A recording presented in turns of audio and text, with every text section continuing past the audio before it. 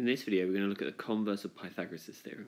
Now, Pythagoras' theorem said if you have a right angled triangle, then a squared plus b squared equals c squared. Well, the converse of Pythagoras' theorem says the other way around that if you have a squared plus b squared equals c squared, then it's a right angled triangle. And we use that to prove if something is right angled or not. So, here we've got an example.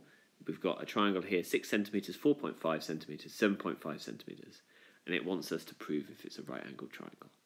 So what I'm going to do is I'm going to work out what a squared plus b squared is and hope that's the same as c squared. So uh, a squared plus b squared, well, a and b are your short sides in your triangle, so 6 and 4.5 are the two shorter sides, so 6 squared plus 4.5 squared. So I square those numbers and we're going to get 36 plus 20.25 and then I add those two together, 56.25. Now we're hoping that if we take the longest side, C, which is 7.5, and square that, we should get the same. And in this case, we do, we get 56.25.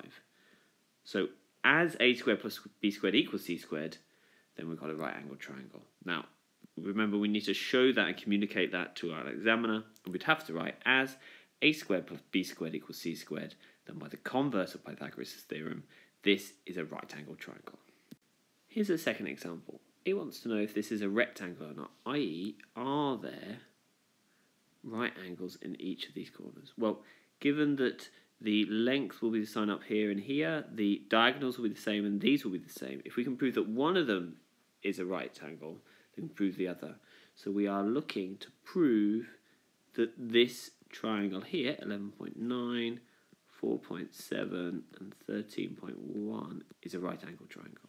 So as before, take the two short sides, a squared uh, plus b squared, see what that is. So we've got 11.9 squared plus 4.7 squared.